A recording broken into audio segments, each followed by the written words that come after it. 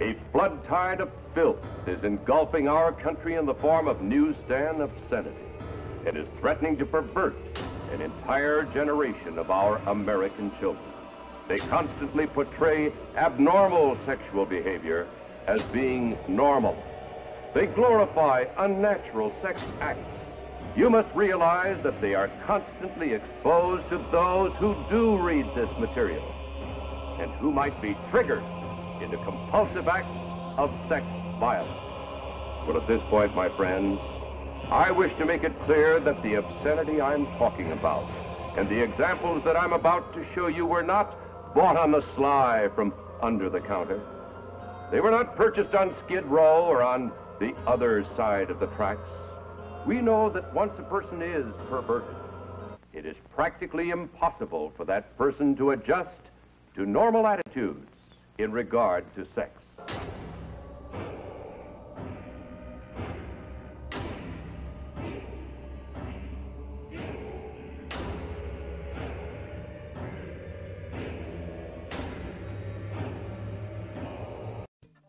Wow, All right. this one's from 10 years ago almost. It is? Oh my god, you're right. It's 2009. Hey guys, how's it going? Request Minotaur. Blah.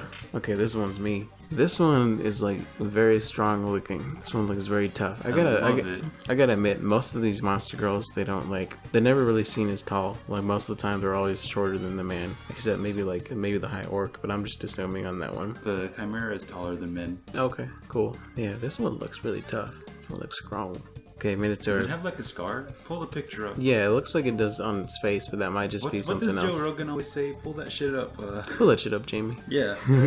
It looks like it, but like maybe not. yeah, it's like a kind of a scar. Because it's not a it's not hair. Yeah, maybe it's a scar. She's a tough like battle woman too. Those belts are dumb though. It looks like something Tetsuya Nomura designed. Like the weird like belt pants. Look at those dumb belt pants. The dumb belt pants. Look oh, No, the belt pants. Okay. Yeah, they're just around the around the legs, around the thighs. I don't. I'm not sure what the purpose of them is. They're just kind of there. And then the ones around the, the arms. I don't know. Well, that's the ones around the arms to accentuate how fucking beefy her arms are.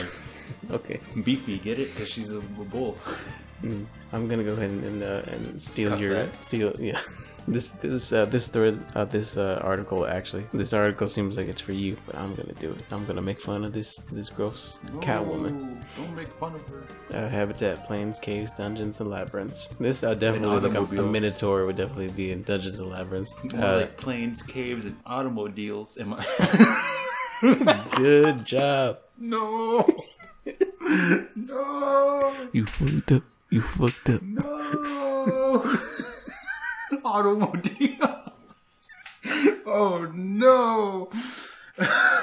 How embarrassing. Am I right, Z brothers? Will he ever be able to recover from a blunder like that? No. Oh boy. Disposition aggressive, ferocious. Diet omnivorous, mainly prefers meat. Huh, you Sure don't say.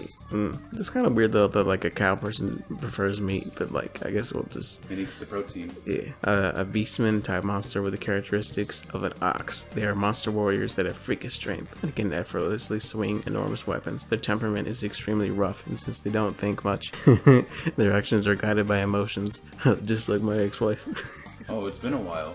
yeah. They're exceedingly dangerous monsters. They're extremely ferocious, and when they spot a human man of their liking, they practically charge in and assault him immediately in an effort to force intercourse, just like my ex-wife. That's why she's an ex. Yep. Ugh. That bitch took my house. Anyway, since they boundlessly stam, since, okay, since they have boundless stamina, they take much pleasure in unilaterally raping men, and they like rough sex. That sounds like that one guy that was on To Catch Predator. Oh yeah, you look at the Minotaur's bio and it just says, "I like rape." Once they get a hold of a man, he'll be forced to go along with it until he becomes exhausted and passed out. And also, since they get aroused when they see color red and become even more ferocious, if you're wearing red clothes, it's almost, almost guaranteed that you'll be targeted by these vicious beasts that have nothing in mind but greedily devouring a phallus. so you should be careful. This sounds like a like a. It sounds like a, a, a nudge, nudge, wink, wink. Like you should be careful. Mm, I was thinking like a like a jackass prank where it's like you gotta run through a field of minotaurs wearing all red Oh my god. and make it out intact. In this way, they're extremely dangerous monsters, but actually, they're often encountered sleeping. They spend most day, most of their day sleeping, like a piranha plant. just gotta creep around it. After eating, they pretty much just go back to sleep right then and there. Something mi- something minor won't wake them up. Also, after having sex with a human man, if they like a man, they'll fall asleep while embracing him, so he can't get away. Such a man won't be released. He'll start being treated as their husband. just fall asleep on top of you, knowing that she's too big that you can't get her off him.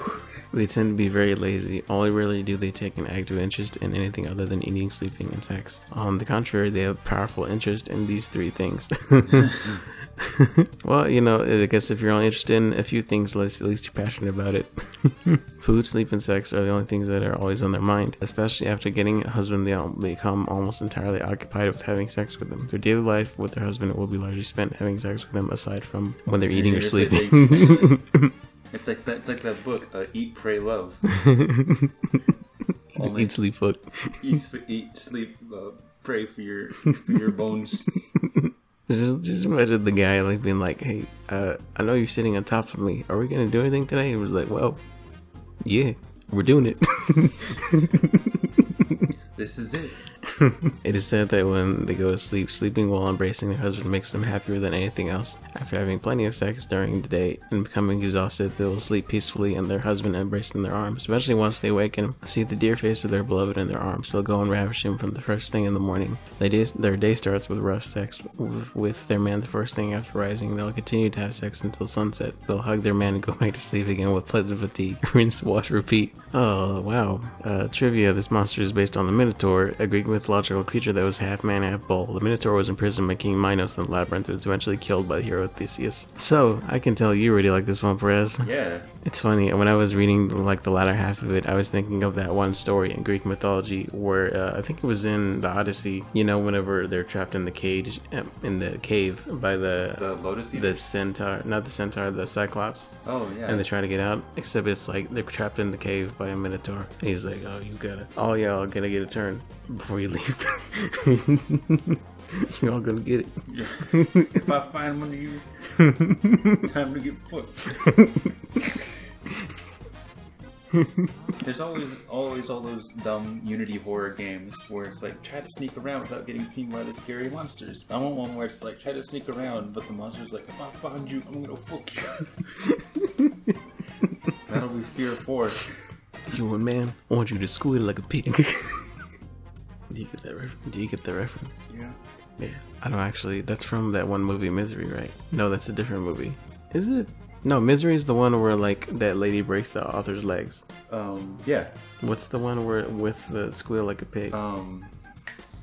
You're right. It is something in that same vein. yeah. Um, oh, we're gonna look like Dumbos. How about this? Just have the name of the movie on the screen, like right now, Okay. and so we'll, we'll look even dumber trying to like think of what it is. Yeah, but in that one, it is like misery. it's something like that. Is, isn't isn't the thing in that one though like like rednecks rednecks rape Red nips. Yes, the red nips. that rednecks rape a dude? Yeah, Oh on the on the arcade machine. No, that's a different movie. Is it? Are you thinking of that one South Park episode where I like am. yes exactly? That's oh a my parody of that god. movie, isn't it? No, that's a different movie. That's the movie with Jodie Foster. Oh my god. Oh my god. okay, okay. You know what? We're recording. We might as well. We're, and we're done with the article. Uh, so my thoughts on it are basically that yeah, this is a big beefy woman, and if you're into it, this is probably your 10 out of 10. It is. So- So ten out of ten. And uh, this guy seems really happy, so I'm gonna go ahead and give this one. Uh, I'll give this one. Uh, This is very much not your aesthetic. yeah, I'll get. Mm, I'm I'm like in between. I'll give it seven and a half because this is this is like a pretty high quality rough one. But like this one's pretty good. Okay, let's uh, okay now let's find out this movie we're trying to figure out. Okay, so the movie with Jodie Foster was. You know what? I wonder if I can just look up that one scene. Deliverance. Deliverance. That's what it was. Deliverance I found is the first. I win. Okay, so the movie Deliverance, not the movie Misery, Misery. or that one, or that, or that one movie with Jodie Foster. Because I know me and you were both thinking of that one South Park episode with Indiana Jones.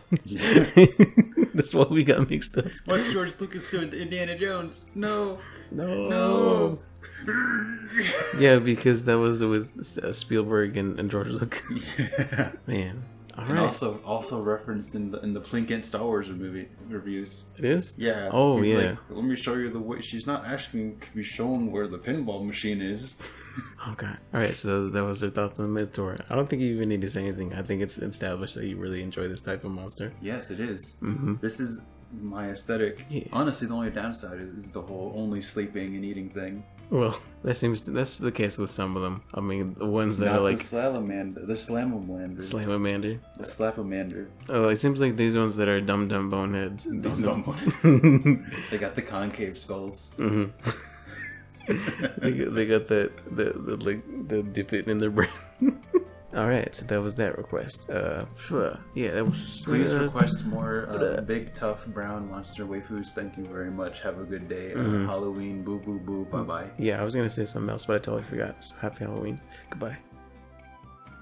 See one more thing. One.